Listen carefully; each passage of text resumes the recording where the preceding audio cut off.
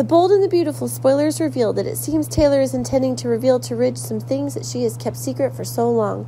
If you're wondering with the same question as I am, how would Brooke, Ridge's current wife, if she knew the old enemy Taylor, express to her husband, then please watch the information below. It might answer for you. In the latest news from Soap Opera Digest, both Taylor and Ridge had a party full of members of the old Tidge family, along with their two children, Steffi and Thomas. With such an extremely cozy atmosphere, Taylor feels like she's back in the past when she was Ridge's wife.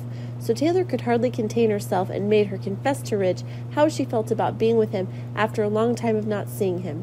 Actress Krista Allen, who plays Taylor in the CBS B&B series Spoilers, said in a recent interview that Taylor will always love Ridge, but she distinguishes that she loves someone else. With loving someone, she lets Ridge know that she's here for him, and she says this because she's done a lot of work on her own and she's geared towards emotional honesty. It's something she doesn't always practice a lot.